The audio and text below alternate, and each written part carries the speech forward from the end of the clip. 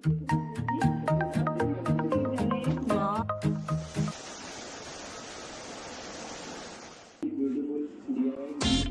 Guys आप देख सकते हो कि मैं बना रही हूँ वड़े। इसमें आप देख सकते हो, पहले वड़े में होल्स नहीं आए हैं, लेकिन दूसरे वड़े में होल्स बनाने पड़ेंगे। मैं कैसे बनाऊँगी? कुछ दिखाती हूँ।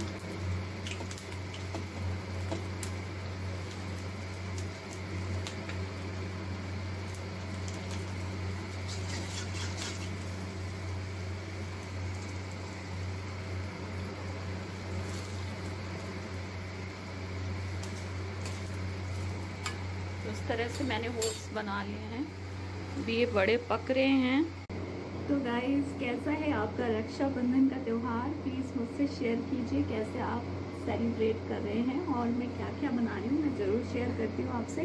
तो स्टे ट्यून तो गाइस मैं बना रही हूँ नारियल की चटनी और अभी मैंने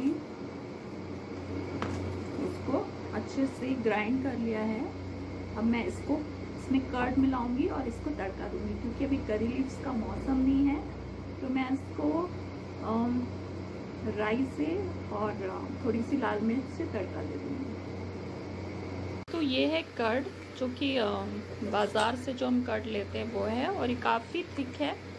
तो अभी ये जो पेस्ट मैंने बनाया है, नारियल की चटनी, मिर्च, लहसुन, अदरक का, वो मैं इसमें डाल दूँगी।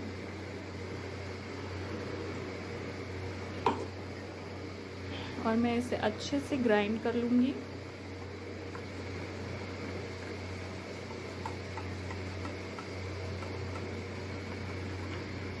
ये देखिए कितना थिक चटनी बन गया है। आप कैसे चटनी बनाते हैं? आई एम श्योर आप करी लीव्स ज़रूर यूज़ करते होंगे।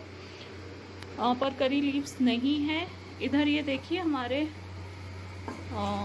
जो हमारा वड़ा है, वो पूरी तरह से रेडी है। तो अब मैं इसको निकाल लेती हूँ।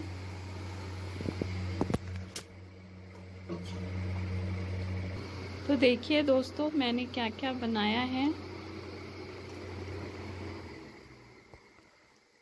दोस्तों, ये मैंने बनाया है नारियल चटनी और ये मैंने बनाया है तीखी मिर्च की चटनी। ये मैंने वड़े बनाए हैं, ये मैंने सांभर बनाया है, ये मैंने इडली बनाई है। और स्वीट में मैं खीर खीर बनाऊँगी। और बाकी तो मार्केट से स्वीट्स ले ली थी तो ये था आज का हमारा लंच। तो बताइएगा मुझे आपको कैसी लगी मेरी मेहनत?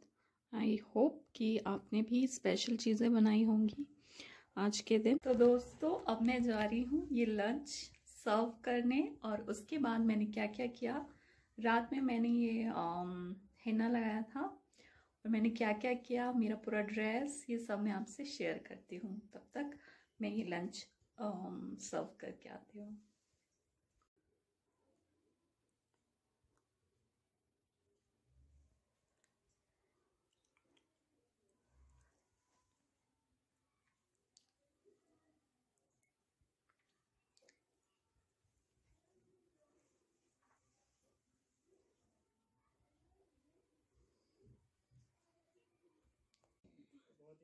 तो दोस्तों, ये हमारा रात का डिनर है, क्योंकि अभी किसी का भी खाने का मन नहीं था। सब लोग हल्का कुछ खाना चाहते थे।